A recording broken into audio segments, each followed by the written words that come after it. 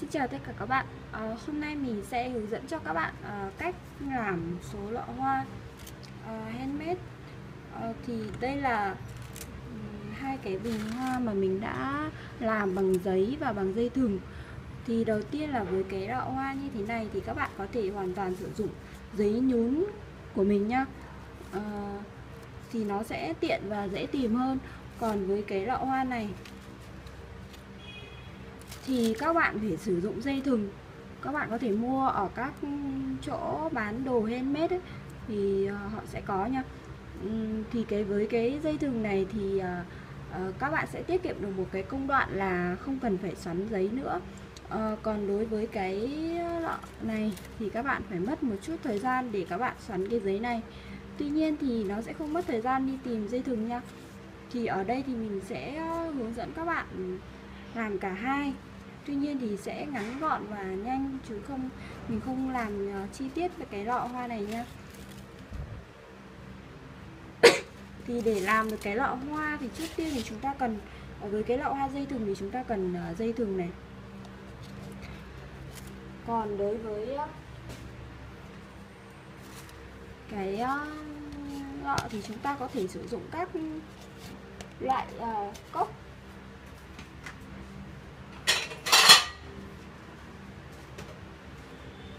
các bạn hoàn toàn có thể sử dụng các loại uh, cốc thủy tinh này mà nó không có cái quai này nhá. Đây các bạn sử dụng các loại cốc ừ, thủy tinh tương tự như thế này. Uh, hoặc là các loại cốc nhựa. Các bạn bỏ cái quai này đi. Các bạn mua cái loại cốc nhựa mà nó không có cái quai như cái cốc này này. Rẻ thôi có mấy nghìn một cái cốc thôi. Uh, với lại nó cũng không quá khó tìm. Hoặc là các bạn có thể cắt từ cái chai này ra. Cắt đi và chúng ta chỉ lấy cái phần dưới này thôi. Ở đây thì mình dùng cái hộp uh, mì tôm. Miến miến liền ấy. Cái này bằng bằng xốp thì nó khá là nhẹ. Đó. tiếp theo là các bạn cần đến dây thừng súng bắn keo này.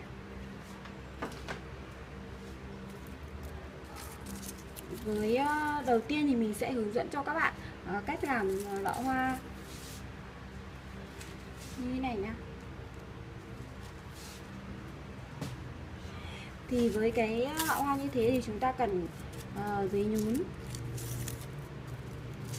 Các bạn uh, xoắn giấy lại với nhau như thế này.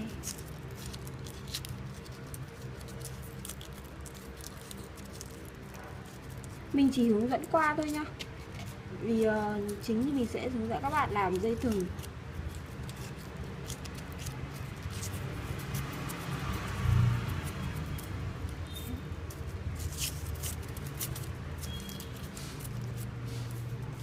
Các bạn cứ xoắn cái giấy này lại như thế này.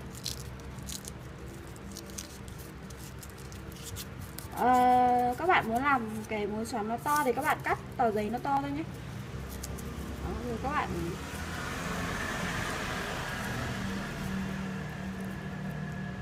Xoắn hai cái giấy lại với nhau.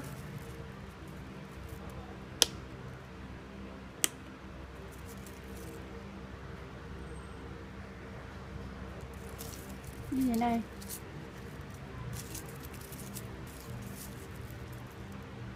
Đó, các bạn nhìn thấy chưa? Nó sẽ có hai cái màu đây là màu xanh và màu trắng thì ở đây là màu tím và màu trắng nhá. Đó.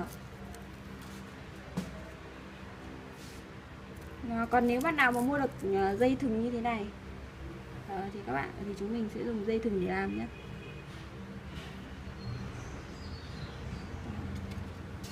đây bây giờ thì mình sẽ bắt đầu ờ, gắn cái này vào cái lọ hoa thì ở đây thì ờ, cái cách bằng giấy thì mình đã giới thiệu cho các bạn rồi. Thì để ờ, tiết kiệm thời gian thì mình sẽ chỉ làm phần dây thừng thôi. Còn phần giấy thì các bạn sẽ dán tương tự phần dây thừng nhá. Các bạn dùng keo nến này.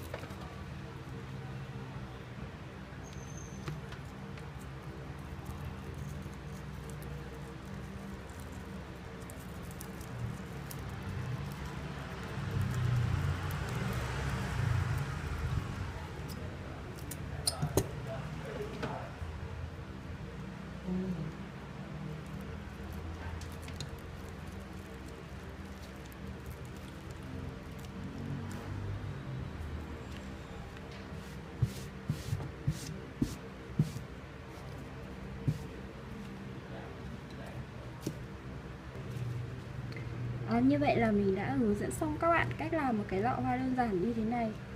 À, tận dụng được những cái nguyên liệu mà chúng ta à, những cái hộp mà chúng ta không dùng đến nữa.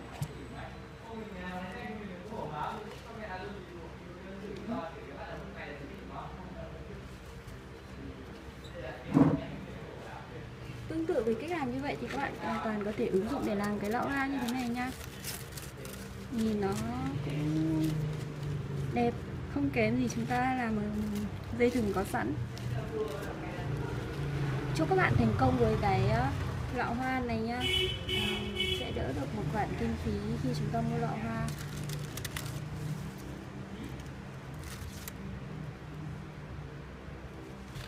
À, xin chào và hẹn gặp lại các bạn ở những clip lần sau nha.